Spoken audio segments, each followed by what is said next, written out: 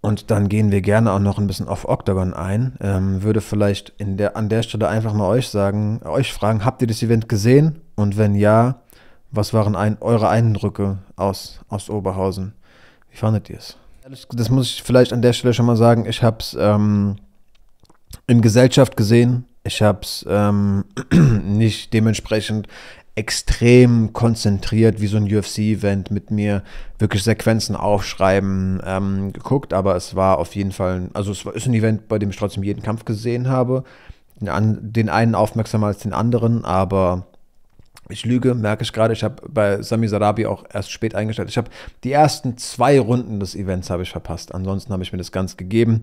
Ähm, der Mann aus Berlin aus dem Sayato Gym hat auf jeden Fall ganz souverän eine, eine ähm, Decision nach Hause gefahren.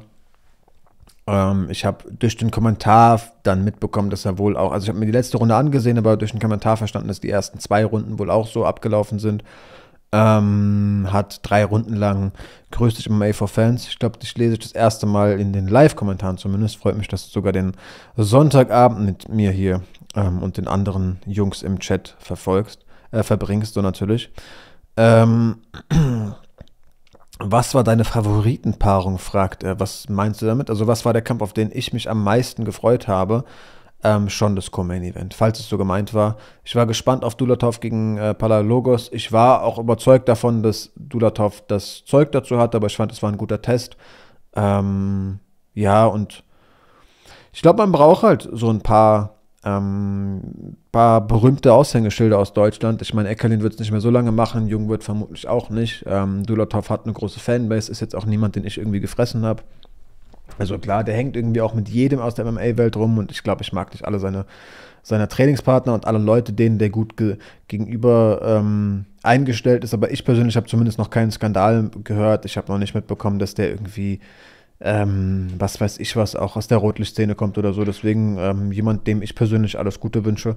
Und deswegen fand ich schon spannend ähm, zu sehen, ob der wirklich für so eine Bühne gemacht ist. Mm. Weight of the Night schreibt als nicht gesehen. Kann ich verstehen, ne? kostet halt auch was. Ähm, aber du kannst dir ja zumindest hier mal anhören, wie ich fand. Es wird aber auch, glaube ich, jetzt kein, keine äh, Sequenz über die ich ähm, ja eine Stunde oder so spreche. Naja, Sami Sarabi jedenfalls aus dem Sayato Gym, der ist aus Berlin angereist nach NRW, hat souverän durch ähm, ja, Grappling, Ringen und Grappling den Kampf gegen den Tschechen hier gewonnen. Ähm, Emir Can Al kannte ich noch gar nicht gegen den Tschechen Tomasz Votava, beide mit ihrem Profi-Debüt, wo man sich natürlich auch fragen kann, okay, interessant, dass ihr euer Debüt auf, auf der Octagon-Bühne geben könnt. Aber die haben wohl beide zwei Amateurmeisterschaften äh, gewonnen. Dementsprechend, ähm, ja, renommierte ähm, Amateure zumindest, deswegen eben diese Bühne bekommen. Vorgestellt wurden sie als Grappler aus Deutschland gegen Kickboxer aus Tschechien. Ähm, aber ja, nicht Tschechien, was ist das denn? Slowakei, ne? Slowakei? Ähm, Steht hier gar nicht. Das ist doch. Ah, ja, Slowakei. Ähm, ja, wurde. Also, Kickboxer aus, aus der Slowakei, Grappler aus Deutschland, hieß es im Kommentar, aber ähm, letztendlich ist da der Deutsch-Türke glaube ich, Türke, egal, der Deutsche aggressiv nach vorne gelaufen, wild schwingend, hat das Ding im Stand entschieden. Viel härter getroffen, viel aggressiver den Kampf angegangen, viel angstfreier in die Distanz gegangen. Klar, sowas kann auch gegen einen richtig guten Striker bestraft werden, der ist wirklich wild schwingend auf den Zug gerannt, aber ähm, ja, es hat nur einer von Kopf bekommen und das war der vorgestellte Striker.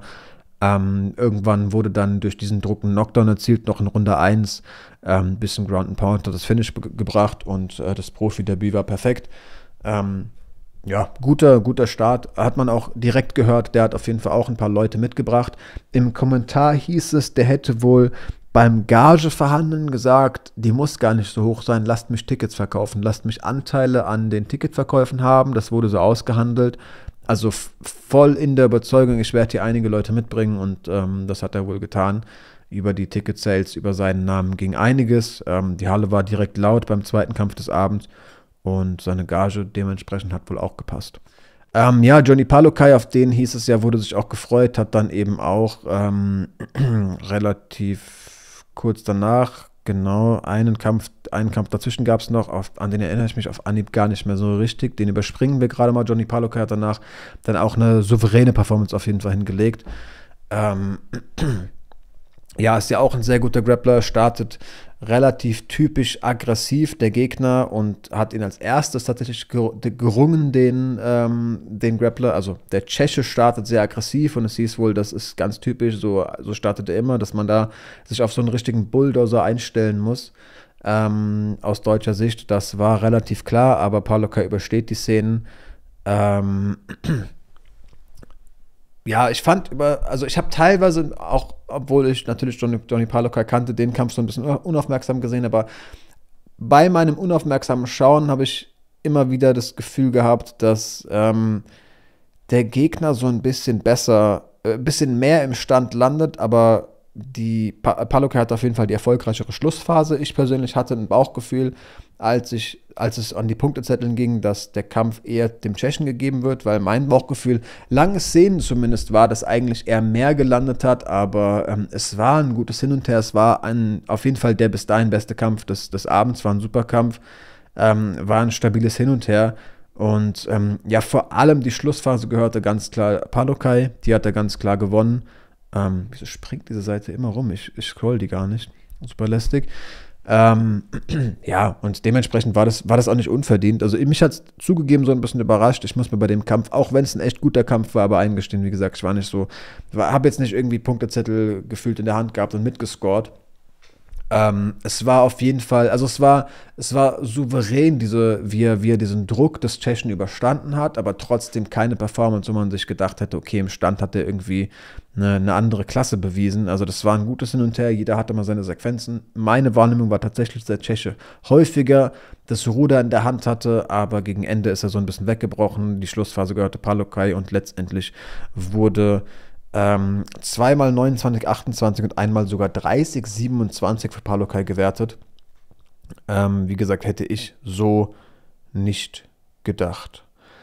Ähm, danach, wenn wir es chronologisch mal, mal ähm, abarbeiten wollen, wurde verkündet, dass Octagon auch nach Frankfurt zurückkommt und dass Eckelin eingeplant ist. Später können wir dann ja mal hier ähm, chronologisch so ein bisschen springen. Wurde klar, dass der Sieger aus dem Kampf gegen Miroslav Bros und Tom Crosby zwei stabilen Grapplern mit gutem Cardio ähm, dass ich glaube, ehrlich gesagt, zumindest die Szene wirkte so, dass ganz klar abge abgesprochen war im Vorhinein schon, der Sieger darf Eckerlin fordern, denn der ist so richtig erwartungsvoll, wurde der eingeblendet und ist sofort in der Sekunde, in der sein Name fiel, so selbstverständlich in den Cage gegangen zu einem Face-Off. Ähm, also ich glaube, ehrlich gesagt, da wurde im Vorhinein schon so ein bisschen die Storyline klar ähm, geschrieben. Ich denke, jeder bei Octagon ist sich bewusst, dass Eckerlin Frankfurt gefühlt alleine ausverkauft und man da gegen einen gestandenen Star letztendlich, muss man ja auch einfach mal so sagen, antreten darf. Also ich glaube, ein Kampf, den jeder im Welterweight ganz gerne bestreitet. Ähm, deswegen wurde, glaube ich, hier dem Tschechen und dem Briten gesagt, wer den Kampf gewinnt, der darf das Callout machen. Eckerlin hat auch Bock, wir suchen einen Gegner für ihn, obwohl ja lange klar war, oder obwohl ja lange geplant war, dass Jungwirt gegen Eckerlin angesetzt werden sollte und es noch beim letzten deutschsprachigen Event hieß, äh, hieß dass ähm, eigentlich auch dieser Kampf für Stuttgart mal angesetzt war. Keine Ahnung, woran das jetzt gescheitert ist. Also zumindest, es hieß vorsichtig irgendwie, Jungwirt wurde, wurde angesprochen, bist du schon wieder ready für Stuttgart? Er hatte damals gesagt, ja, wurde gefragt, und der Kampf gegen Eckerlin, eigentlich war der ja mal eingeplant vor deiner Verletzung und dann hat er gesagt, ja, machen wir dann so. Und das wirkte jetzt nicht irgendwie so in Stein gemeißelt und offiziell, aber er hatte Bock drauf, offenbar. Ich verstehe jetzt nicht ganz, warum das nicht, nicht zustande kam. Stattdessen wurde ja Jungwirt gegen, ähm, gegen Pukac 2 veröffentlicht, ein Rematch von 2022. Ähm, fand ich ein bisschen seltsam, dass man das nicht macht. Vielleicht wollte Eckerlin nicht in Stuttgart kämpfen. Warum soll ich da ausgebuht werden, wenn ich in Frankfurt ja, kurz fahren muss, da irgendwie jeder für mich da ist und meinen Namen schreit. Es macht schon Spaß, da der Star der Veranstaltung zu sein. Und ich bin ja auch einer der Leute, die die Frankfurt-Karte ausverkauft. Vielleicht hat Jungwirth gesagt, ich möchte aber auch endlich mal in meiner Heimat kämpfen. Könnte mir vorstellen, dass es daran gescheitert ist. Auf jeden Fall sehen wir den Kampf nicht. Und wie gesagt, der Sieger aus diesem Duell ähm, hatte Eckerlin herausgefordert. Auch da muss ich sagen, ich persönlich habe den Kampf so ein bisschen anders gewertet. Also das wurde ja auch eine Split Decision. Ähm, die erste Runde, ich gehe mal gerade meine Notizen ähm, ab, genau, genau, die erste Runde hatte ich für Brosch gewertet, für den letztendlichen Sieger des Kampfes. Ähm, hatte ich ähm, recht eindeutig bei ihm. Es waren, wie gesagt, vorgestellt zwei Grappler mit sehr guter Cardio, aber den erst, die erste Runde entscheidet er durch höheres Tempo und effektiveres Striking.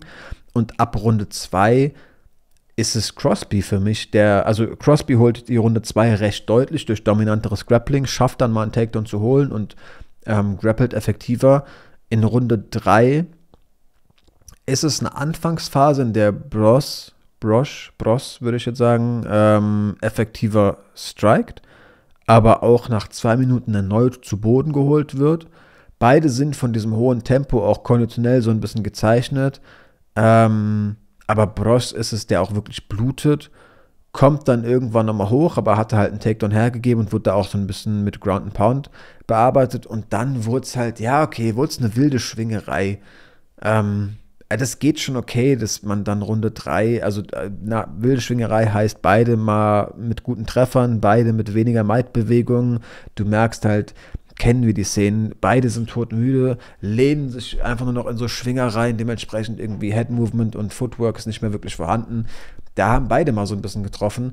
Ich hatte irgendwie das Gefühl, Runde 3 hatte auch Crosby so ein bisschen mehr irgendwie sich aufgezwängt und so ein bisschen mehr gemacht. Aber dass man die Runde 3 Bros gibt, ist dann irgendwie auch okay. Jetzt, wo ich meine Notizen nochmal durch, äh, durchlese und meine Erinnerungen ähm, ja, neu, ähm, neu durchdenke, dann ist das schon in Ordnung. Aber ich hätte halt Runde 3 auch Crosby gegeben. Runde 2 holt er ganz klar. Runde 1 gebe ich auch Bros. War schon okay. Ähm, der jedenfalls sagt auch im Octagon-Interview dann, ich habe Urteilsverkündung das Gefühl, dass Bros nicht so richtig daran geglaubt hat, da jetzt wirklich äh, als Gewinner genannt zu werden. Die sind beide auf jeden Fall durch die Hölle gegangen, haben eine gute Ballerei äh, gezeigt. Bin gespannt, ob Ekenen für das Tempo gemacht ist. Ich muss sagen, dadurch, dass die beide als stabile Cardio-Monster vorgestellt wurden, waren sie dann doch auffällig müde beide in der dritten Runde, aber vielleicht auch durch das Tempo, dass sie sich eben, in das sie sich eben beide gezwängt haben. Ähm, ja, ist ein machbarer Kampf, glaube ich, für Eckerlin, muss ich sagen. Ähm, wie gesagt, er wurde gefordert, ist direkt in den Cage gegangen, es gab ein Face-Off und damit war auch klar, das wird der Kampf in Frankfurt. Ähm, zudem es auch heißt, da gibt es ja Gerüchte, dass es in einem Stadion stattfinden wird. Das ist mir nicht so bewusst. Die gibt es ja immer mal wieder, aber ob es die jetzt, dass es die jetzt explizit für das Event gibt, das habe ich noch nicht gehört. Ich verfolge Octagon nur so ein bisschen nebenbei, muss ich sagen, nicht annähernd so akribisch wie, wie, wie die UFC oder auch tatsächlich auch eher so PFL Octagon One habe ich auch nochmal mehr auf dem Schirm. Ähm, MMA-Fans schon mal munkelt, dass Eckerlin gegen Jungwirth ein Legacy-Fight sein soll zum Karriereende, aber das ist nicht offiziell. Ähm, ja, würde auch Sinn machen. Man muss ja schon sagen, dieser Kampf äh, steht und fällt nicht damit, wie die gerade sportlich dastehen und irgendwie, ob sich einer doch noch mal in irgendwelche Top 5 Ränge reinkämpfen kann oder sollte. Ähm, ja, die können 40 sein und nochmal noch mal gegeneinander kämpfen. Das werden die Leute sehen wollen. Ich hätte halt gedacht, so, die werden ja auch nicht, nicht besser und ähm, ja, also nicht jünger und besser. Dementsprechend, ich glaube, die sind aktuell noch an so einem Stand, wo es sportlich wirklich Spaß machen würde, wo das hohes Tempo gehen könnte. Ähm, ich glaube halt einfach, der Kampf würde im Jahr 2024 mehr Spaß machen als im Jahr 2026. Ähm, oder irgendwie Ende 25 oder so. Heinrich Scheppel schreibt, oder sie gehen wieder nach Köln mit 20k in die Halle, müssen nur aufpassen, dass sie die Gelegenheit für den Kampf nicht verpassen. Ja, das würde auch, also gibt es da schon ein Datum für, für Octagon Köln? Oder ist es einfach nur so eine Überlegung von, das haben die doch schon mal gemacht, das würde auch nochmal Sinn ergeben. Ähm, muss man natürlich auch schauen, wie die beiden Kämpfe von denen, von denen ablaufen. Vielleicht läuft da ja auch einer durch die Hölle und wird wirklich erstmal sechs Monate raus, raus sein oder vielleicht noch länger, wenn sich einer verletzt. Also toi toi toi, das ist nicht passiert, versteht mich nicht falsch, aber ähm, ja, keine Ahnung. Das, das kann halt auch schnell sein, dass der Kampf gar nicht mehr wirklich in Aussicht ist, ne? Also wie lange irgendwie so ein Eckerlin noch macht oder ein Jungwirth, das ist ja auch, also ich glaube, Eckerlin wird früher die Karriere beenden, aber wer weiß. Ähm, ja, muss man, muss man mal sehen. Ähm, Jan Malach gegen Luka Milidragovic war ein Kampf auch von einem deutschen Vertreter, denn Miligra Milidragovic ist einer aus dem UFD-Gym. Ähm, eigentlich ein Lightweight, das hier im Welterweight kurzfristig eingesprungen ist und eine richtig gute Runde gegen Jan Malach eine erste gibt. Ähm, Mittwoch den Call bekommen und zugesagt und ähm, ja, wie gesagt, erste Runde. Ähm, kämpft er wirklich gut, holt er für mich und in der zweiten wird er richtig überrollt. Hatte nochmal so eine kurze Guillotine gegriffen, aber wird durch Ground and Pound letztendlich gefinisht, wird niedergerungen und dann ordentlich bearbeitet. War schade, vor allem dadurch, dass er so stark gestartet ist, aber ähm, gut verkauft hat er sich. Ich weiß gar nicht, wie alt der Kerl ist. Ich glaube, er ist noch nicht so alt und wie gesagt, kurzfristig eingesprungen als eigentliches Lightweight, 99er Jahrgang. Ähm, natürlich ärgerlich, es wäre super krass, auf der Bühne mal kurz Jan Malach zu besiegen, aber das hat er jetzt nicht geschafft. Trotzdem ähm, glaube ich, keine Entscheidung, die er bereuen sollte, auch wenn es sich vermutlich nicht so anfühlt, als ob das eine gute Entscheidung gewesen wäre. Ähm, du hast ja, ich glaube, es ist auch so ein bisschen veranstalterabhängig, aber du solltest eigentlich bei einem guten Veranstalter, wenn du kurzfristig einspringst, ähm, auch was gut haben, sage ich mal. Ähm, vielleicht ist Octagon ja so und merkt sich auch, dass der letztendlich einen Kampf gerettet hat und damit einen Teil eines Events, das ähm, ja einen Teil der wegbrechen konnte. Mhm.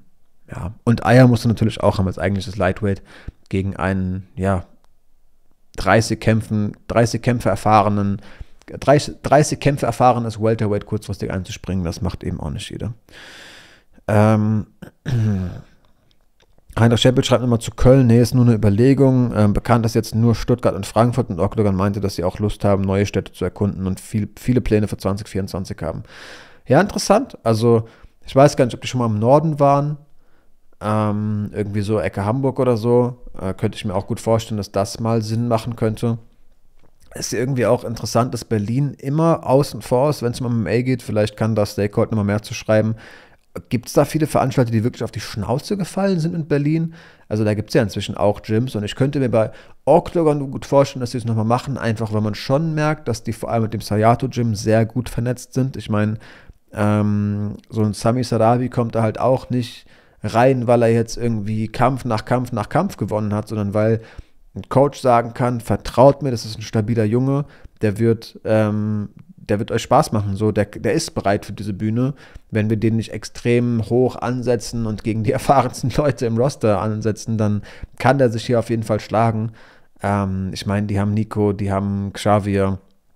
Könnt ihr mir vorstellen, dass die schon auch irgendwie mal vielleicht ähm, Berlin doch möglich machen? Weiß ich jetzt aber nicht. Ist vielleicht auch ein bisschen zu hoch gedacht, aber letztendlich war es auch Nils vom MMA Spirit, der wohl die Veranstalter von Octagon überzeugt hat, in Frankfurt zu veranstalten. Der gesagt hat: Vertrau mir, veranstalte in Frankfurt und die Halle wird voll sein. Ich meine, klar, die, die Berliner Jungs haben jetzt nicht so eine Followerschaft, dass die, glaube ich zumindest nicht, dass die ähm, felsenfest behaupten können, dass die irgendwie eine große Arena ausverkaufen, aber ich könnte es mir schon vorstellen, dass vielleicht doch auch das angegriffen wird. Ähm, München wäre natürlich immer denkbar. Ja. Ich glaube, die Fans wünschen sich am meisten Hamburg und Leipzig. Ja, okay, mit, mit, mit Drischka und so kann ich mir auch vorstellen. Ich weiß aber gar nicht, wie viele aus dem Osten sind denn da, sind denn da gerade am Start. Also ich habe jetzt, also für mich ist Konrad Drischka halt äh, das Aushängeschild irgendwie, was so bei Octagon Kämpfer aus dem Osten angeht. Aber gibt es da noch so viele andere Leute? Naja. Ja, spannend auf jeden Fall. Es, es, man kann natürlich schon auch negativ sagen, irgendwie ärgerlich, dass es kein deutscher Veranstalter geschafft hat, ähm, auf dem Markt hier so große Sachen zu verkaufen und die finanzielle, finanzielle ähm, Power dahinter hatte. Aber ähm, ja, gut, so ist es jetzt halt ein, halt ein großer Tscheche.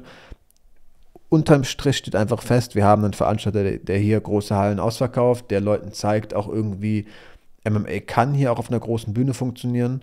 Äh, Niklas Stolze, ja, gut, den kann man schon auch mal erwähnen, stimmt. Scheiße. ja, Mist, der, den gibt es ja auch noch. Ähm, ja, ist ein ganz gutes Argument, Stakehold. Könnte man mit erwähnen, wenn man über den Osten spricht, ne? Tat mir richtig weh, gerade dass ich den vergessen habe. Den Namen zu lesen, das war auf jeden Fall, war auf jeden Fall ein bisschen, bisschen schmerzhaft. Guter Junge auf jeden Fall. Ähm, und da kann ich mir auch gut vorstellen, dass der auf jeden Fall Followerschaft mitbringt. Ähm, wo war ich denn jetzt? Ja, ähm, es zeigt halt einfach, glaube ich, auch anderen Veranstaltern, dass man vielleicht einmal so ein bisschen mutiger sein könnte, dass es hier funktionieren kann. Und ähm, glaube, da sollte man sich auch nicht zu lange ärgern. Ich glaube, die Stimmen gibt es, die sich denken, Mann, wieso ist es denn jetzt irgendwie ein tschechischer, tschechischer Organisator, der es hier ähm, schafft und da wird irgendwie Englisch geredet und das ist nicht eine deutsche Veranstaltung. Aber am Ende des Tages muss man auch irgendwo an die Kämpfer denken und die kriegen eine geile Bühne, sei, sei die jetzt türkisch, sei die tschechisch, sei die deutsch, sei die was auch immer, sei die englisch so.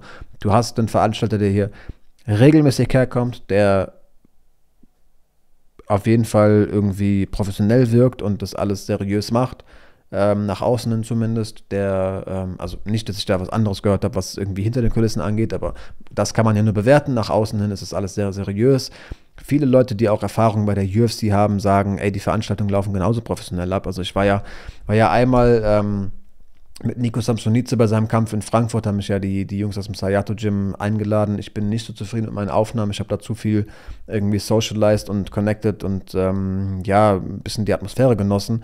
Ich finde, das Endergebnis auf Video war kein allzu geiles, aber ich habe halt trotzdem so ein bisschen die Prozesse kennengelernt und ähm, Ey, ey, die Betreuung ist krass auf jeden Fall. Also du kriegst da immer irgendwie jemanden an die Hand und brauchst du hier noch was und habt ihr genug Wasser und passen wirklich die Handschuhe und ähm, es ist wirklich, du wirst wirklich sehr gut betreut und kommen Sie gerade mal mit, wir zeigen Ihnen, wo eure, wo eure, ähm, eure Kabine ist, wo ihr euch warm machen könnt und hier gibt es noch einen extra Aufwärmraum und äh, du siehst auch irgendwie einen Screen, wie, wo gerade das Event ist. Das ist wirklich alles sehr, sehr professionell und ähm, auch andere, auch offizielle. Ich habe Clemens Werner auf dem Event getroffen, den ich ja so flüchtig übers Internet kenne. Ähm, ihn mal kurz zu mir gerufen, als er an mir vorbeigelaufen ist und kurz mit ihm geplaudert. Und ähm, auch der sagt, ey, also Octagon ist wirklich super gut. Und das ist jemand, der sieht halt tausende UFC-Events. Der war halt vor allem bei diesen außerhalb der US-Events, ähm, war der ja schon überall dabei. Sei es jetzt irgendwie, was weiß ich was, sei es irgendwie Singapur oder wo auch immer die UFC ist. Clemens macht vor allem diese internationalen Events außerhalb den Staat, der Staaten mit, aber kennt ja auf jeden Fall viele. Also wie oft sieht man Clemens Werner an irgendeinem UFC-Cage stehen und der sagt, was Betreuung und irgendwie das ganze Drumherum angeht, ist Octagon 1 zu 1 das gleiche. Also da siehst du keine Qualitätsunterschiede. Und ähm, das ist halt schon krass. Ne? Sowas auf deutschem Boden zu haben, ist wirklich sehr schätzenswert. Und ähm, das, ähm, ja, sollte man wertschätzen, unabhängig davon, ob das jetzt ein tschechischer Veranstalter ist oder ein deutscher oder ein Erneut. Was auch immer. Ähm. Ja, Heinrich Schempel schreibt, sie machen auch deutsche Promotion, natürlich, genau. Sie geben auch einfach Deutschen eine Bühne. Also, das ist ja auch was Schönes, ne? wenn du jetzt hier ähm, versuchst, eine Fanbase aufzubauen und irgendwann dann doch mal auf den größten Bühnen der Welt anzugreifen, sei es jetzt irgendwie die UFC oder so, dann ist es halt auch gut, einfach einen Namen zu haben und dann auch aus Deutschland eine Szene hinter dir zu haben, die halt in irgendeinen UFC-Chat drei Deutschlandflaggen reinschreibt, wenn ein Kampf von dir angesetzt wird. Und ähm, du hast halt hier einen, jemanden, genau, der gut Promo für dich macht. Und ähm, natürlich geht es denen vor allem um die Promo für sich, aber es ist halt eine Bühne, die auch den Kämpfern gegeben wird. Und deswegen ist es, ist es super schätzenswert auf jeden Fall. Wenn MMA-Fans sagt, schreibt, er verabschiedet mich, ähm, ja, viel Spaß. Ähm, gleich ein Podcast mit Toni Sipos. Ähm, sehr cool. Äh, genau, wir sehen uns in Magdeburg. Tony Sipos ja auch bei The Cage am Start. Ich habe auch eben so ein bisschen mein Handy ähm, Benachrichtigungen raushauen, raushauen gesehen. Ähm, wurde da etwa was auf Instagram veröffentlicht? Ähm, wurde es The Cage MMA? Nice. Ähm, können wir uns vielleicht auch gleich mal im Stream ansehen. The Cage auf jeden Fall wird ein cooles Event, kann ich an der Stelle sagen. Kommt auf jeden Fall auch noch ein Podcast zu. Ich habe da auch jemanden im Sinne, der sowohl Veranstalter als auch einige Leute auf der Fightcard kennt und da so vielleicht so ein bisschen mit seinen Senf zu abgeben könnte. Ähm, ja, wo war ich denn jetzt? Wir haben Johnny Palukai besprochen, wir haben Mil Dragovic besprochen, Chiat Akipa. Oh Mann. Ähm, Anfangen tut's auf jeden Fall bei einer Vorgeschichte. Ähm, die irgendwie banal ist. Ich habe mir ein Screenshot aufgeschrieben ähm, und ich tippe den jetzt live ab, denn ich habe es bis heute noch nicht getan, aber das will ich jetzt im Stream machen, um kurz mal zu verstehen, was ist da überhaupt passiert. Für die Leute, die jetzt gar nicht wissen, was hier abgeht. Ähm, erläutere es gleich. Ah, ähm, ja, hier ist ein roter Punkt davor, aber das heißt nicht Kumpel, sondern Mutter. Okay, also, ähm, der Kampf von Jihad Akipa und ähm, diesem Kroaten wird angesetzt, diesem Ivica Tuschek. Wir sehen Alter 43, 39, unglaublich, was ein erfahrener Mann, ich glaube auch 41 Jahre, habe ich mir aufgeschrieben, ist er bereits alt, ähm, genau 41. Der Kampf wird angesetzt und in, ähm, in einen Instagram-Chat, in einen Instagram-Kommentar wird von irgendeinem Fan geschrieben, ähm, etwas auf Kroatisch, und zwar das hier. Ähm, Mate, ich, da wird, in meinem Screenshot wurde was wurde so umkreist, deswegen fehlt ein Wort. Es heißt nicht Kumpel, sondern es heißt Mutter.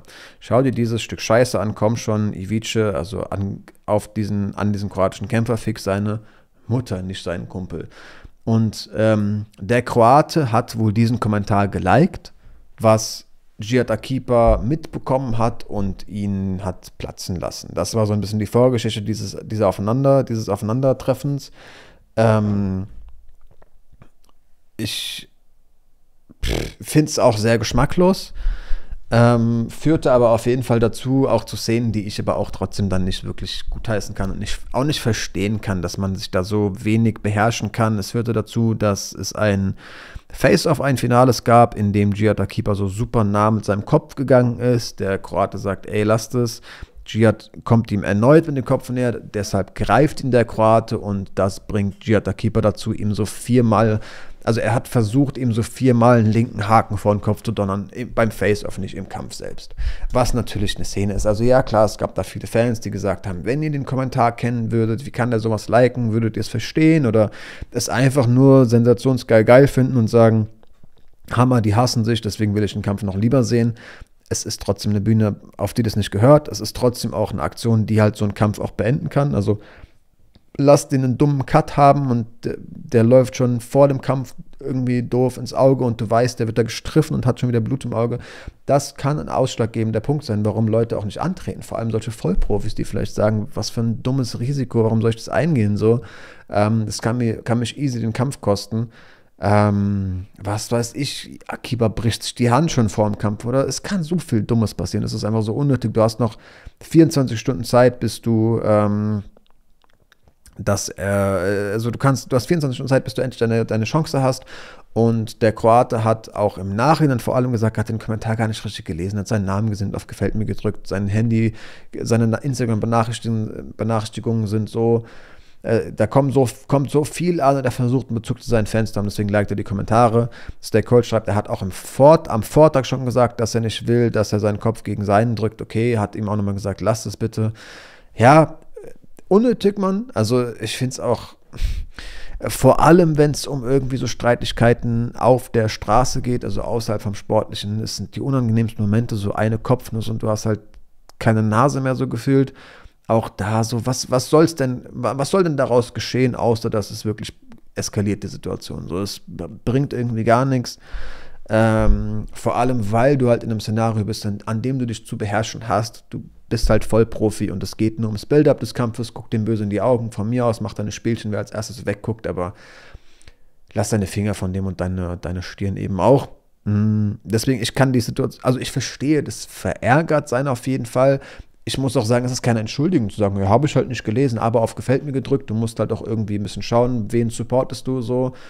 Ähm, aber ähm, ja, trotzdem kann ich es nicht gutheißen so. Und ähm, der Kampf selbst, also das erstmal zur Vorgeschichte, sollte man, glaube ich, ergänzen. Ähm, der Kampf selbst lief deutlich, super dominant. Also ähm, der Kroate ringt ihn früh, ähm, kann ihn nicht auf den Boden bringen so richtig, aber kann ihn, ähm, kann ihn am Cage pinnen und fixieren bearbeitet ihn da sehr viel, schafft es immer mal, ihn zu auf die Knie zu, zu arbeiten, Jihad dagegen arbeiten zu lassen, halt einfach extrem in die Inaktivität zu drängen und ähm, ja, ihn da, ihn da, ähm, wie gesagt, zu bearbeiten, schafft es dann irgendwann doch, ihn zu Boden zu bearbeiten.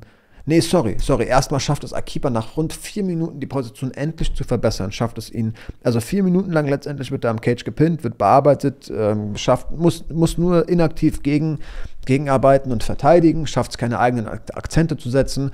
Nach vier Minuten kann er sich endlich lösen und wie im letzten Kampf wird er irgendwie in, ich glaube, unterbewusst ich denke nicht, dass der da bewusst nachdenkt, der zeige ich, jetzt beweise ich, wie gut ich MMA kämpfen kann, sondern er wird in so einen, in so einen Modus von, so scheint halt der Kampf gerade zu laufen gezogen, nehme ich zumindest an. Auf je, was feststeht, der Glory Kickboxer schafft es nach vier Minuten endlich seinen Gegner loszuwerden und ringt selbst, aktiv. Versucht selbst die Position zu drehen, den Kroaten an den Cage zu drücken, selbst einen Takedown zu holen. Wo man sich halt wirklich so an den Kopf packen muss und sagen muss, ey, du hattest eine Minute Zeit, diese Runde zu drehen. Jetzt nochmal ein paar harte Treffer und du hast doch in der Anfangssequenz, die habe ich jetzt weggelassen, gesehen, Akipa ist gefährlich so. Der Kroat hat Sorge vor seinen, vor seinen Händen. Im Striking ist es der gefährlichere Mann, das steht fest. Der war nicht zu Beginn der deutlich erfolgreichere, aber er hat direkt ausgestrahlt, ich bin der gefährlichere im Stand. Du hast noch 60 Sekunden jetzt was zu machen und ringst halt selbst aktiv. Also vollkommener Error, muss man einfach sagen. Da bin ich jetzt wirklich, nachdem ich es zum zweiten Mal sehe, so hart im Urteil. Also, was war denn der erste Gegner? Auf jeden Fall hat er da ja auch eine Decision verloren und der lief genauso. Der hat ihn gerungen. Akiba hatte bessere Position und hat versucht, selbst den Ringer auszupacken. Gegen Matthew Bonner, genau. Ähm, ich frage mich halt wirklich, ob es eine bewusste Entscheidung ist. Ich möchte der Welt beweisen, dass ich inzwischen ein runder MMA-Kämpfer bereits geworden bin und kein Kickboxer mehr bin. Oder ob es, was ich eher vermute, halt so ein unterbewusstes, so scheint der Kampf jetzt zu laufen ist, in das man so reingezogen wird in so einem Adrenalin-Moment. Ähm, ist natürlich auch wieder da leicht, leichter gesagt als getan. Ähm, in einem Moment, der natürlich von extremem Adrenalin geprägt ist, ähm, kalkulierte, rationale Entscheidungen zu treffen. Vor allem glaube ich auch, dass natürlich Akipa seine Lücke schließen muss und, und im Training sehr viel ringen würde, defensiv vor allem, ähm, und ich glaube, auch das kann dich unterbewusst dann, wenn es darum geht, im Autopilot zu funktionieren, in Aktionen zwängen, sage ich mal von mir aus, dich zu Aktionen hinreißen lassen. Aber ähm, ja, egal was die Ursache ist, das Endergebnis ist ein ärgerliches und es ist kein förderliches, was die, was die eigenen Stärken und die Chancen zu Siegen angeht. Ähm, das ist definitiv nicht. Runde 1 also sehr, sehr deutlich abgegeben, denn er konnte jetzt nicht irgendwie aktiv einen Takedown holen und da irgendwie selbst noch Ground and Pound ansetzen. Hat dann nur so ein bisschen, ja, den Gegner gegen den Cage gedrückt und so. Und äh, Runde 2 startet erstmal so ein bisschen, bisschen besser für Akipa, weil ähm, ja, es im Stand läuft, dann ein paar eigene Treffer, holt sich aber auch welche ab, weil es nicht so, dass es irgendwie eine Klinik war.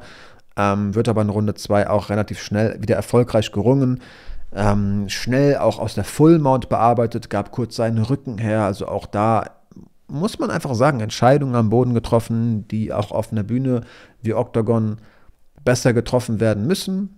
Ich sage es lieber dreimal zu viel als einmal zu wenig. Erneut leichter gesagt als getan, als jemand, der es auch nicht drauf hat und an seinem Schreibtisch in ein Mikrofon spricht. Aber man muss Sport auf der Bühne bewerten, auf der er stattfindet. Und da, da gibt es auf jeden Fall Leute, die da schlauere Entscheidungen treffen. Und ähm, ja, wird wie gesagt aus der Fullmond bearbeitet, gibt seinen Rücken her, schafft es zwar, sich wieder zu seinem Gegner zu drehen, aber hängt dann kurz in der Guillotine und ähm, in der pennt er langfristig weg. Äh, Truschek sagt noch zum Ref, ey, der ist schon weg, ich spüre das, da ist keine Spannung mehr drin. Der Ref unterbricht noch nicht, geht nochmal um den, äh, um den Gegner, hebt dann erst den Arm und merkt, ah ja, hast recht, lass mal los. Und da ist halt Akipa wirklich komplett weggeschlafen, hat aber halt auch nicht getappt.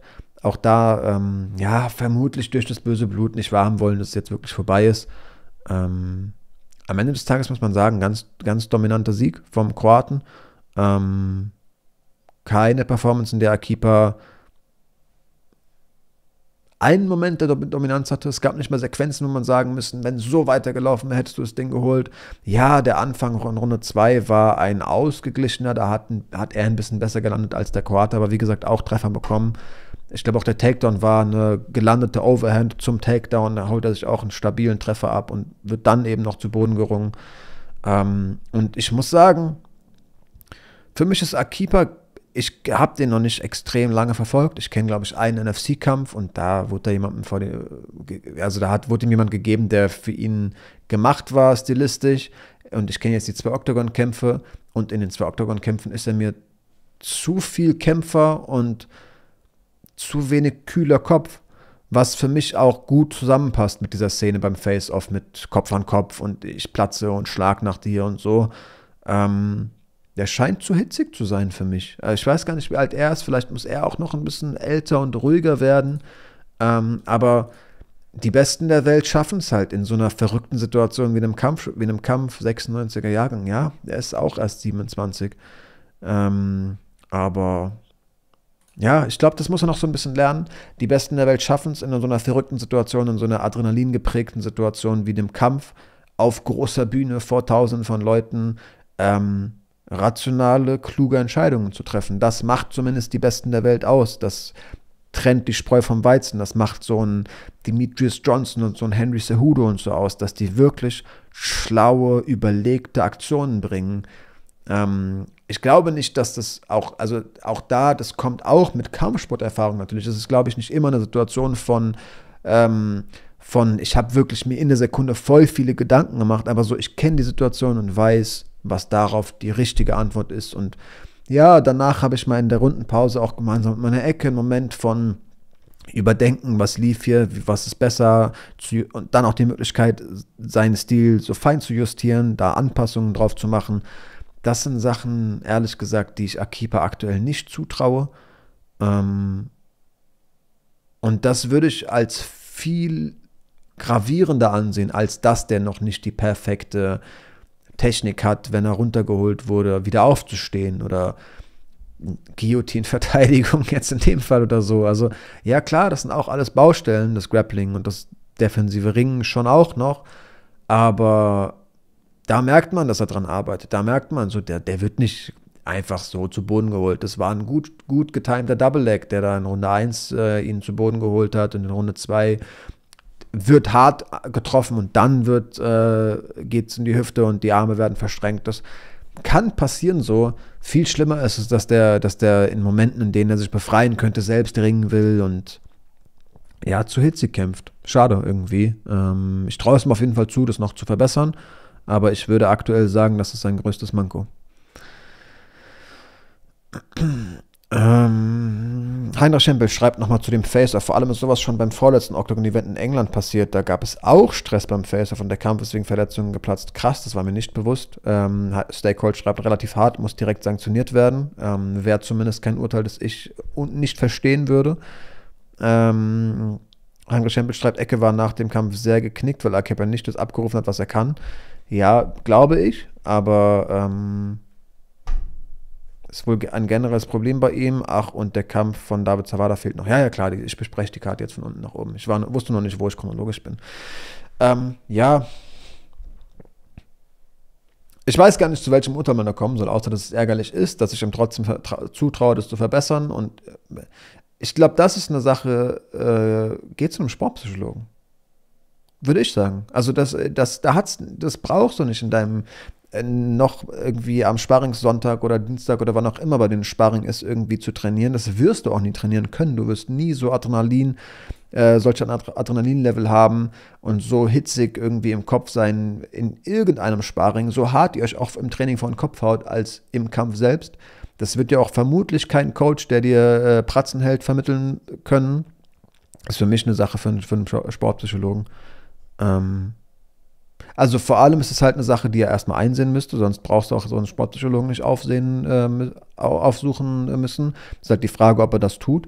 Ähm, ist natürlich auch eine schmerzhafte Erkenntnis, sich das selbst einzugestehen, dass man mit Druck in der Form offenbar nicht umgehen kann. Ich meine, als jemand, der schon auf großen Bühnen gekämpft hat und gewonnen hat und einiges gerissen hat, sich dann einfach zu sagen, ich habe da eine klare Schwäche, ähm, ich glaube, an der sollte ich arbeiten und die ist psychisch. Das ist vielleicht, glaube ich, auch für den einen oder anderen, das, eine oder andere Ego ganz, Ego ganz besonders schmerzhaft. Aber ähm, ist zumindest mein Urteil. Ihr könnt ja gerne mal eure Meinung dazu, dazu in die Kommentare schreiben. Vielleicht seht ihr das ja ganz anders und sagt, ach, für mich ist es nicht die Psyche, für mich muss der besser grappeln oder so. Aber ähm, für mich sind es Fight-IQ-Errors. Wie gesagt, gegen Matthew Bonner auch 15 Minuten versucht, die Ringerschuhe anzuziehen als Glory-Kickboxer. Sorry, das ist für mich einfach eine, ähm, ja, eine Sache von, von schlechten Entscheidungen. Ich trinke noch mal einen Schluck, danach kommen wir sehr, sehr gerne auf David Zawada gegen Hojat Kajewand. geiler, geiler Kampf auf jeden Fall. Bester Kampf des Abends, würde ich sagen.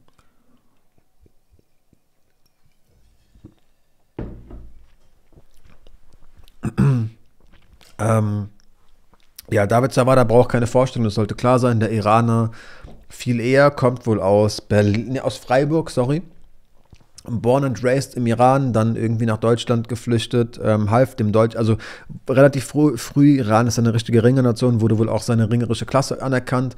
Habe jetzt im Kommentar gehört, dass der auch dem deutschen Nationalteam im Ringen geholfen hat, die unterstützt hat, also da auf jeden Fall ähm, ja, recht früh irgendwie auch hier weitergemacht, seine Wurzeln irgendwie ähm, auch hier im Ringersport verankert.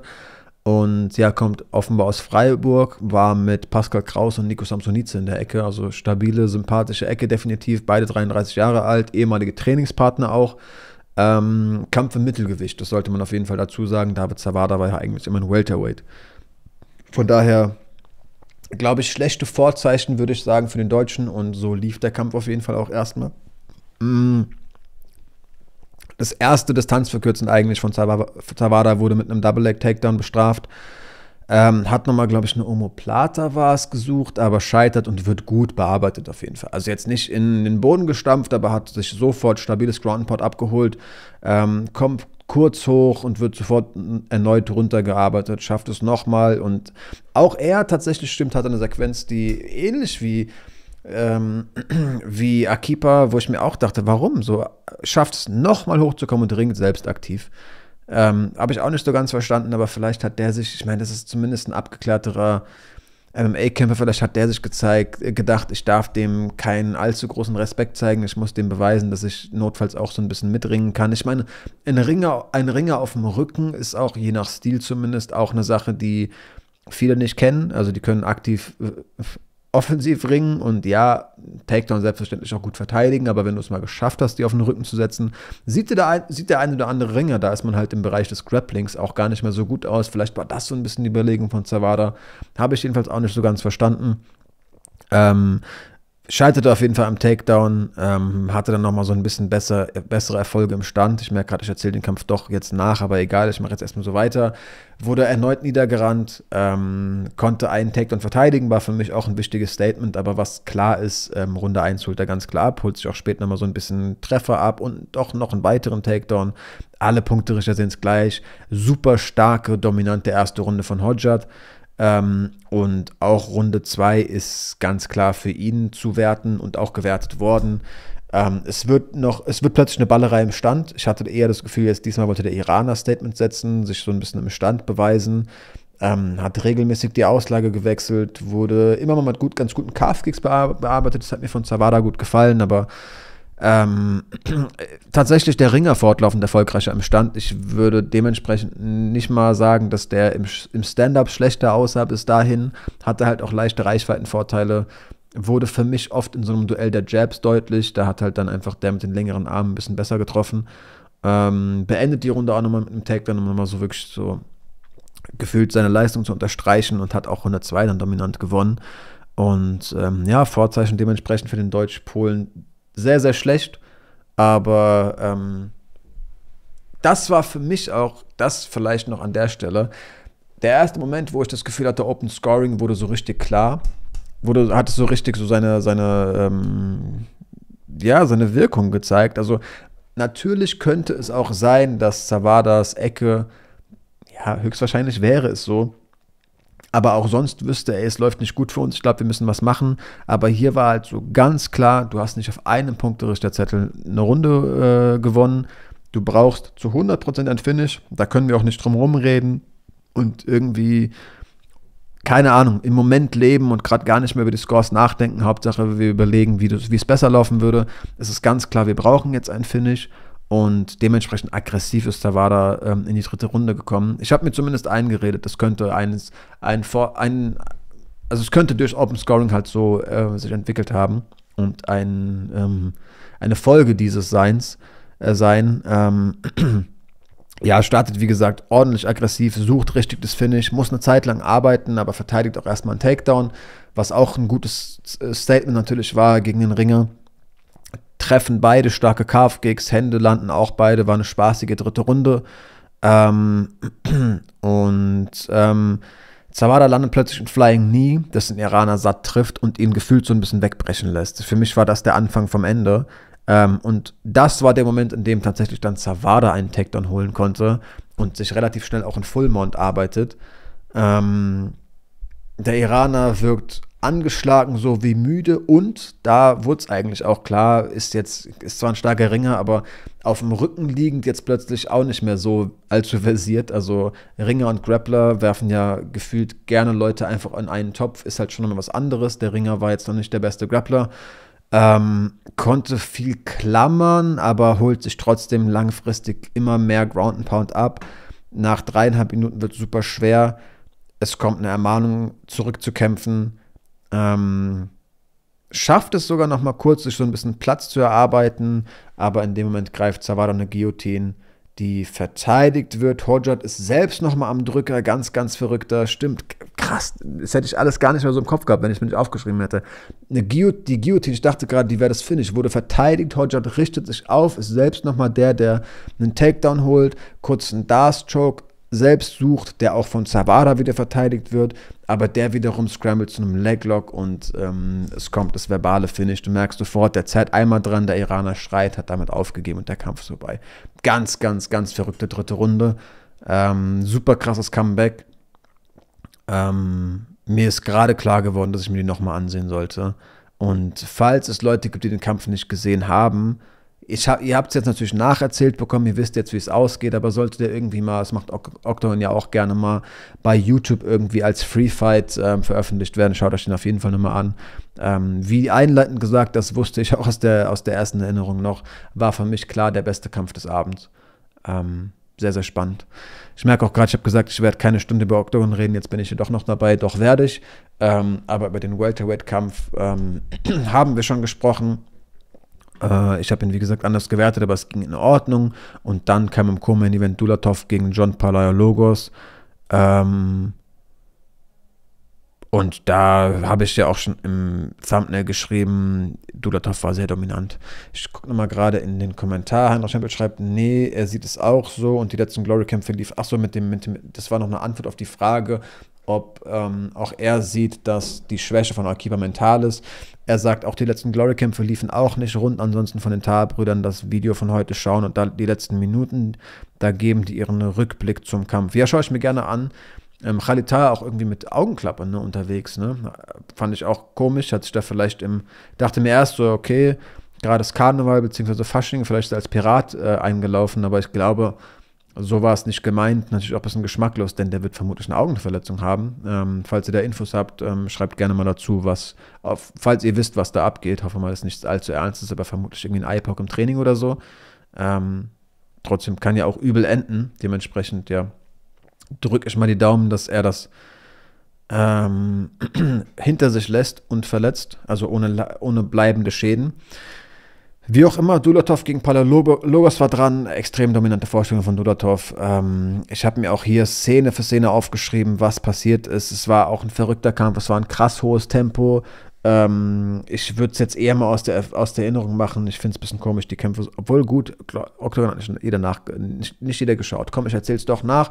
Ähm, mir ist früh aufgefallen, dass ähm, Dulatov auf jeden Fall extrem flink auf den Füßen ist, meidet Angriffe gut und kontert sehr souverän. Häufig auch der, die 1 und 3 äh, wie die Amis so schon sagen, gut gebracht. Also die erste Aktion gebracht, gewusst, dass Palaiologos antworten wird, diesem Konter äh, ausgewichen und dann selbst auch nochmal reingestochen, also quasi den Konter gekontert.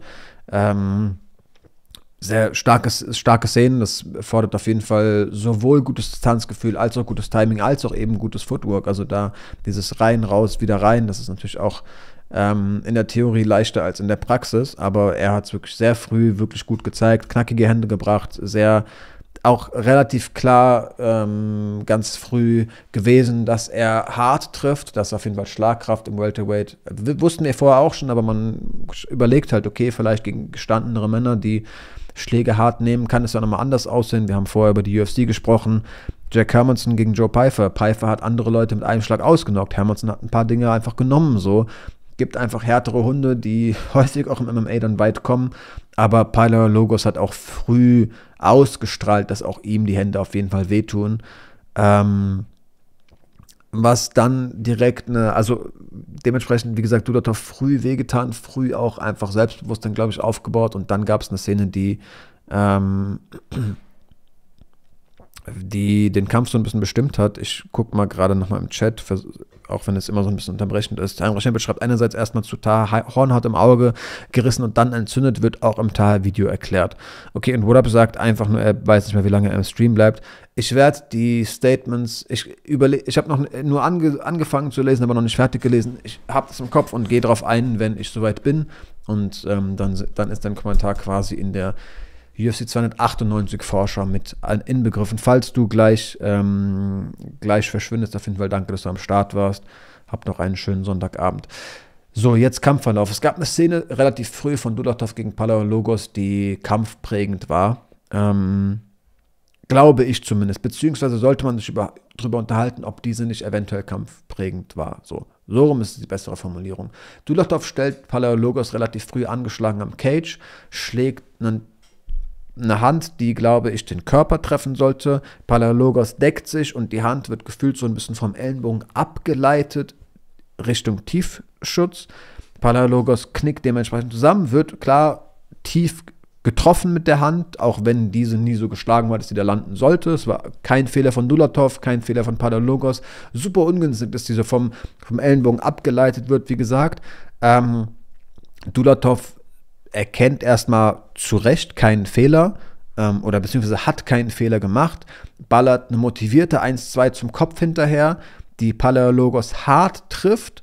Der Ref hat vorher aber eben erkannt, dass die Hand tief ging, war aber in der Zeit noch nicht so reaktionsschnell dazwischen zu gehen. In dem Moment des Treffers kann diese 1-2 also nicht verhindern, die Dulatov schlagen konnte, weil der Ref hat noch nicht abgebrochen und unter der knickt Palaiologos wirklich schon ein bisschen zusammen. Also die bringt einen Knockdown am Cage, nachdem eben dann abgebrochen wird. Also kurz danach durfte Dulatov nicht mehr nachsetzen, hat das noch nicht getan, denn der Ref ist dazwischen gegangen, guckt ihn, glaube ich, auch fragend an. Ich meine, er hat es in der Sekunde gar nicht so richtig verstanden dass seine Hand tief abgerutscht ist, aber hat halt den Griechen niedergeschlagen in dem Moment, in dem eigentlich sicherlich der Ref, wenn der so einen Klicker hätte oder so, oder so eine, so eine Tröte, bereits vorher unterbrechen wollte, denn eigentlich wollte er hier ab dem Moment des Tiefschlags unterbrechen, aber wie gesagt, so reaktionsschnell war er eben nicht. Ähm, ja, Palaiologos hat dann auch auf der Stirn geblutet, wurde da relativ hart getroffen, ist hochgekommen, war dann auch gefühlt schnell wieder auf den Beinen. Es war so ein Flash-Knockdown. Aber man sollte sich gegebenenfalls darüber unterhalten, ob diese Szene nicht auch beeinflusst hat, wie, weit der, wie gut er im weiteren Kampfverlauf Schläge nehmen konnte. So sollte man, glaube ich, fair äh, drüber sprechen. Es ist keine Garantie, dass der danach schlechter Schläge nehmen konnte, weil er schon angeschlagen war. Aber es ist eine berechtigte Überlegung, meiner Meinung nach, sich das zumindest mal durch den Kopf gehen zu lassen. Erneut gar kein Vorwurf, kein Fehler von Dulatov, ungünstig gelaufen. Aber es war eine Szene, über die man, glaube ich, wenn man nüchtern den Kampf betrachtet und nicht einfach nur sagt, ja, Deutsche hat gewonnen, ähm, über die man sprechen sollte, ähm, kann letztendlich dann Dudatov egal sein. Es ist halt ärgerlich für den Griechen, aber auch zu einfach. Also ich denke, ich denke, das sagt er auch nicht, aber sollte er sich das auch als Ausrede heranziehen, auch zu einfach gesagt, diese Szene jetzt heranzuziehen als Grund dafür, dass er im weiteren Verlauf schlecht Schläge nehmen konnte. Aber so war es. Ähm, ja, super kurz danach, nach Wiederantritt holt sofort einen weiteren Knockdown. Also es waren irgendwie noch zwei Hände, die nach, also der Grieche hat sich, glaube ich, zweieinhalb Minuten oder drei Minuten oder so genommen. Das wurde wirklich eine Zeit lang unterbrochen. Irgendwann hieß es, naja gut, jetzt was soll ich machen? Komm, weiter geht's, holt sich zwei Treffer ab und wird niedergeschlagen so. Und da hatte ich halt schon im Kopf so, boah, vielleicht ist der schon immer noch so ein bisschen konkast vom, vom Knockdown von vorher. Ähm, er holt sich aber tatsächlich recht angeschlagen, versucht er zum Bein zu gehen, sucht eine Armbar, findet sie nicht. Und das waren so ein paar Momente, Momente, wo man wirklich gesehen hat, das ist schon ein guter Grappler. Und das waren so die einzigen Szenen des Kampfes, in denen Dulatov, wenn Palaiologos mal irgendwie zu einem Bein gerollt ist oder eine Armbar gesucht hat oder so, in denen Dulatov mal so ein bisschen in Bedrängnis gekommen ist. Ansonsten also in, trotzdem konnte er mit den Momenten äh, umgehen. Er wurde halt nur in Inaktivität und Defensive kurz mal für kleine Sequenzen gezwungen aber ist aus allen rausgekommen. Und ansonsten muss man einfach sagen, war es so eine dominante Vorstellung. Also die Hände haben wehgetan. Dulatov kam mit allen Sequenzen klar, mit allen Positionen klar. das waren, wie gesagt, nur Momente, in denen er ähm, mal reagieren und nicht agieren musste. Ähm, ja, der Griechische schafft den Takedown dementsprechend nicht zu holen, die Armbar auch nicht. Sie müssen also aufstehen und wird erneut gerade wieder mit einer rechten runtergeschlagen. Ähm, es war wirklich ein wildes Tempo. Da waren auf, also die, die, zweieinhalb Minuten Unterbrechung weggerechnet, waren irgendwie anderthalb Minuten gekämpft oder so. Und es gab schon zwei Knockdowns, eine Armbar, drei Knockdowns, wenn wir den illegalen mitrechnen. Also wirklich ähm, verrücktes Tempo, gutes Ground and Pound dann auch von Dulatov. Äh, er weit, war erneut versucht, Palaiologos zumindest mal eine Armbar zu suchen, aber auch die war vergeblich und wird da wirklich am Boden ja gemanhandelt, wie die Amis sagen, wirklich rumgeschoben, so wie es Dulatov wollte, der physisch sehr viel stärker wirkte ähm, hat ihn wieder aufstehen lassen und sofort im Stand besser getroffen. Also dieses, dieses Distanzgefühl, das ich zu Beginn schon erwähnt habe, dieses gute Footwork, gute Hand-Auge-Koordination, Präzision in Verbindung mit Schlagkraft, das war in jeder Sequenz, in denen die beiden gestanden haben, halt einfach sofort zu sehen. Ähm, hat immer gut getroffen und halt vor allem auch Volume gebracht, ist wirklich aggressiv nach vorne gegangen, hat das Finish gesucht. Der Grieche zeigt Herz versucht immer mal angeschlagen zu ringen, aber macht es in der Regel vergeblich. Hat noch mal kurz Guard gepullt, aber auch da kam Dulatov raus. Wieder ein Moment, kann man von mir aus sagen, in denen wirkte Dulatov mal kurz besorgt, aber jetzt nicht. Besorgt ist ein zu großes Wort. Wie gesagt, er wurde einfach nur zum Reagieren gezwungen. Ähm, ging dann auch in die Guard vom BJJ Black Belt hinterher. Der wirkte aber langsam auch müde und ja, von den ganzen Knockdowns und Treffern im Ground Pound gezeichnet. Ähm, das rechte Auge ist mit der Zeit auch, was ist das rechte? Ein Auge ist auf jeden Fall zugeschwollen. Ähm, und die einzigen Momente, in denen Palaiologos mal so ein bisschen Gefahr ausgestrahlt hat, waren Versuche, eine Armbar zu suchen. Ähm, konnte zumindest den Deutschen mal von sich wegkicken. Aber ähm, ja, auch dann wieder versucht ein bisschen zu ringen. Ich glaube, seine Hoffnung war wirklich Ringen slash Grappling, aber vergeblich. Weitere Treffer von Dudatov haben erneut Schaden ausgelöst. Ähm, den Griechen am Cage super spät sind wir jetzt gerade in der Runde, also 4 Minuten 50 oder so am Cage zusammensacken lassen. Und so mit dem runden Gong war der Grieche dann so inaktiv, dass Gerd Richter dazwischen gegangen ist. Ich persönlich war mir tatsächlich nicht sicher. Es war wirklich Timing mit dem runden Gong äh, ging Gerd Richter dazwischen, also der Referee. Ähm, ich war mir ganz unsicher, ob der nur klar verhindern wollte, dass nach der Uhr, nach dem Rundengong nicht noch weitere Treffer gelandet wurden, weil Dulatov eben in so einer Sequenz war, ihn zu finishen. Aber nein, es war eine Stoppage, wirklich. Ich weiß gar nicht, hier steht 4 Minuten 59. Ich würde eigentlich 5 Minuten rund hinschreiben. Wirklich mit der letzten Sekunde ähm, kam die Stoppage, weil Palaiologos ähm, am Cage zusammensackend ähm, ja, eingedeckt wurde mit Schlägen und keine Gegenwehr mehr geleistet hat. Sehr, sehr dominante Forschung erneut. Ähm, ich hätte nicht gedacht, dass der Kampf da beendet wird, also vollkommen berechtigt. Äh, kann man nicht sagen, das war eine schlechte Stoppage, aber ähm, ich war ein bisschen überrascht. Ich dachte eigentlich, ähm, ja, es geht in die zweite Runde, ging es nicht. Ähm, ja, alles in allem, wie jetzt, glaube ich, schon fünfmal gesagt, sehr, sehr dominante Vorstellung. Ähm, fordert, glaube ich, auch keinen Gegner mehr im, im Interview, sondern sagt einfach nur, was ich euch versprechen kann, ist, dass ich immer zu einem Finish gehen werde ähm, zitiert da den Rapper Asche, aber ich kriege die Line nicht zusammen. Ähm, und will mir auch den Kopf nicht zerbrechen. Es ging irgendwie drum, ähm, ich werde nicht nach Punkten kämpfen, ich werde für die Fans einfach immer Finish suchen, das, da könnt ihr drauf vertrauen. Und ähm, ja, wenn das so weitergeht wie bei, wie bei der Performance, dann wird es, glaube ich, auch ein Publikumsliebling. Also ich meine, Paleologos, klar, ich meine, der hat auch gegen Eckerlin verloren und so. Ist jetzt nicht jemand, der, der zeitnah um den Octagon-Titel gekämpft hätte, aber ist auf jeden Fall ein gestandener Mann ein bekannter Mann in Europa, jemand, der stabile Siege schon geholt hat, zuletzt ja Jungwirth gefinisht und ähm, ja, vor allem im Grappling vor allem gefährlich, äh, ja, vor allem im Grappling gefährlich ist. Armbars hat er hier auch diverse gesucht, ist mal zu einem Bein gerollt, hat mal Guard gepullt. Äh, mit den Positionen muss man auch erstmal klarkommen. Auch Jungwirth hat er im Stand ganz gut immer mal in, in seine Attacken so gefühlt reingezogen und ihnen Hände rennen lassen. Das ist jetzt auch niemand, der im Stand irgendwie schlecht ist und als reiner Grappler halt äh, irgendwie abgesprochen äh, oder ein, eingeordnet werden sollte. Ähm, ja, den musst du erstmal da rausholen aus dem Kampf. Dulatov ist mir auch dann nochmal irgendwie bewusst geworden, ist ja auch noch super jung, 25 ist er, glaube ich. Es war mir gar nicht so bewusst, dass es wirklich noch so ein, so ein junger Kämpfer ist. Ähm, steht hier gar nicht, ja, ich glaube 25 war es. Ähm, für das Alter vor allem super Performance. Physis auf jeden Fall sehr beeindruckend für das Alter. Man muss einfach sagen, ich glaube, es gibt Kritiker auch definitiv.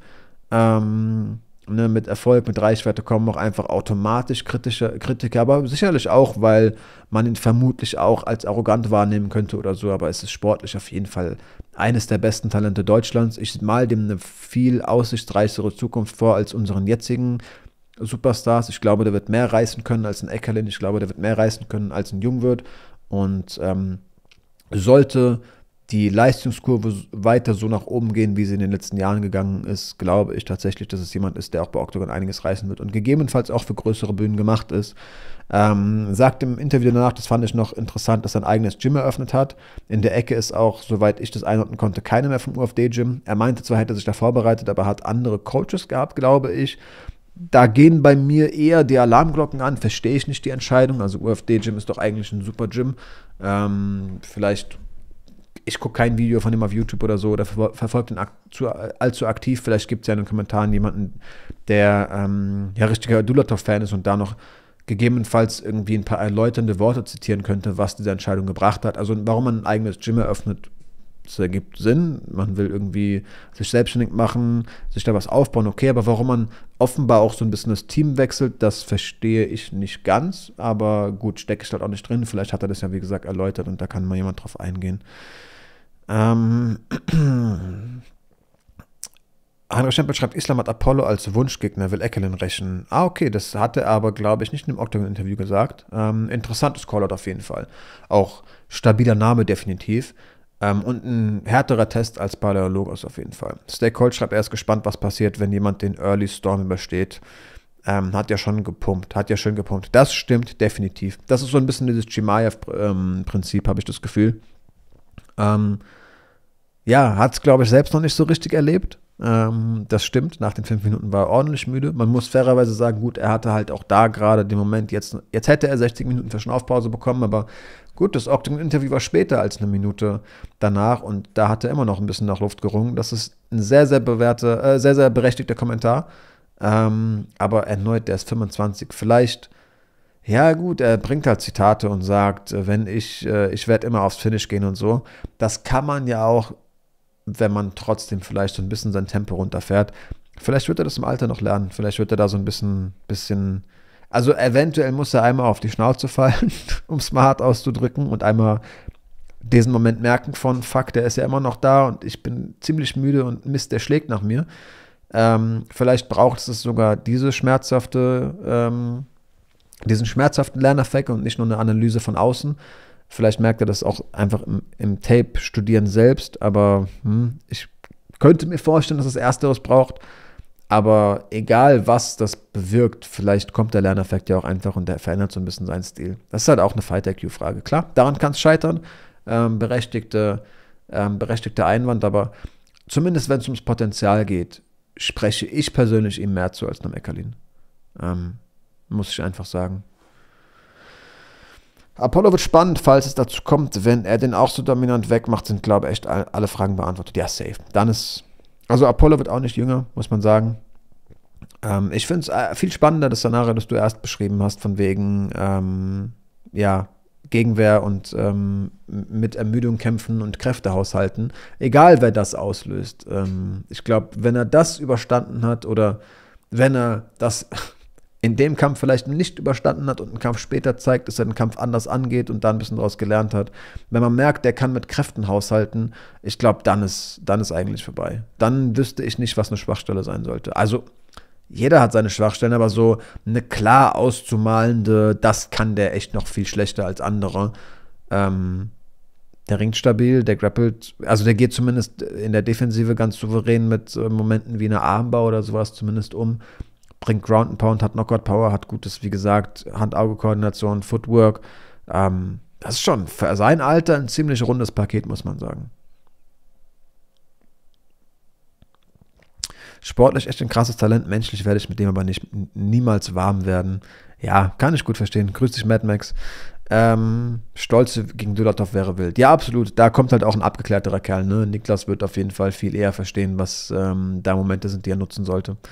Ähm, Glaube aber auch, genau, du schiebst es nach. Wenn Niklas seinen nächsten Kampf äh, gewinnt, würde das vorerst keinen Sinn machen. Ich glaube auch, da sollte Dulatov erstmal andere Leute kämpfen.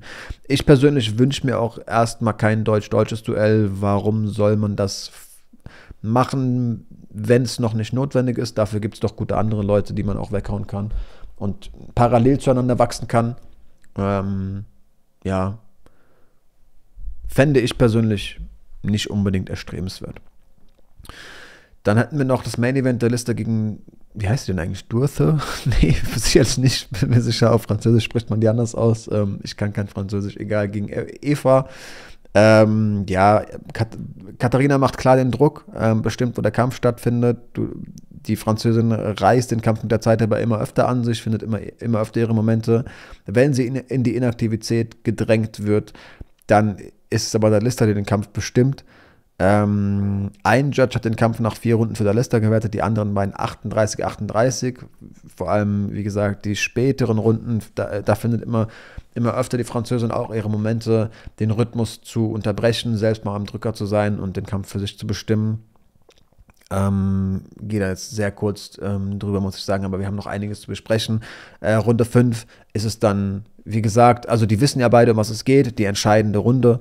Ähm, der Lister holt früh einen Takedown, kontrolliert aus der Halfguard mit einem Head- and Arm-Choke und ähm, ja, macht das Ding wie eine wirkliche Vollprofi- wie ein, wie ein richtiger Vollprofi dann plötzlich, also der Kampf wurde vorher vor allem im Stand bestimmt und im, in Runde 5 merkte dann, okay, ich muss das sicher gewinnen, holt also ein Takedown bestimmt das durch.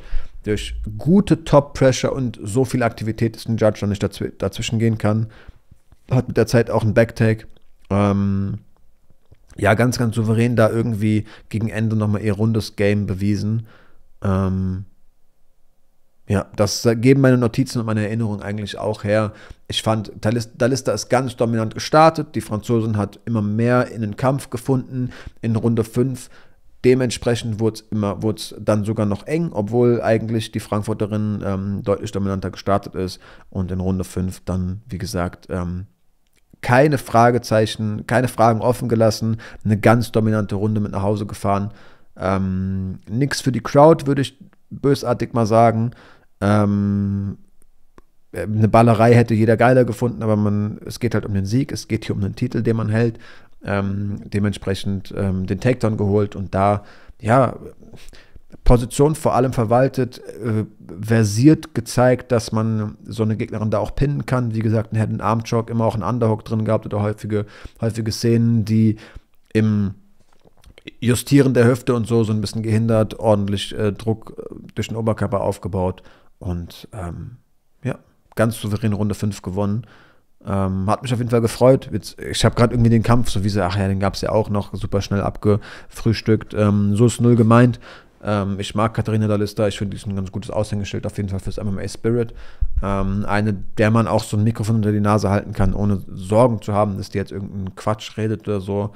Ähm, ja, sagt, also ich glaube halt, es wird schwer sein für Octagon. Ich finde es gut, dass sie eine Frauendivision eingeführt haben und da eine Championess haben.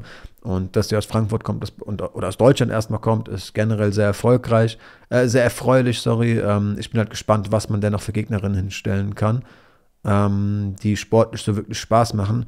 Ich würde mich freuen, wenn man da eine richtige Offensive startet und einige Frauen mal unter Vertrag nimmt und da auch so ein bisschen Storylines entstehen lassen kann. Und ähm, ja, den Fans ermöglicht da irgendwie auch eine Gegnerin über zwei, drei Kämpfe vorher kennen, also die, die, ja, kennenzulernen und dementsprechend heißer auf Kämpfe zu werden. Ich habe den Kampf gerne gesehen. Ähm, ich habe mich für die Leicester gefreut. Aber ich muss sagen, im Vorhinein gab es irgendwie kein Build-up, das mich allzu heiß hat werden lassen. Einfach weil ich Eva erneut, ich nenne jetzt einfach ignorant beim Vornamen, nicht wirklich kannte. Klar, ich habe dann auch mitbekommen, es scheint ein Rematch zu sein und so und das ist schon ein bisschen her, seitdem haben sich beide entwickelt. Aber ihr versteht sicherlich, was ich, mein, was ich meine. Ähm, das Strohgewicht bei Octagon ist halt noch ein relativ kleines. Natürlich brauchst du eine Championess, aber ihre Kämpfe werden halt deutlich spannender, wenn Bewegung in der Division ist, wenn es da bereits vorher schon ein paar Rivalitäten gab, ein paar Standout-Performances und dann hat man die Chance auf den Titelkampf und jeder weiß, wer da aufeinander trifft. Das fehlt mir leider noch so ein bisschen bei dem, bei dem Strohgewichtstitelkampf bei Octagon.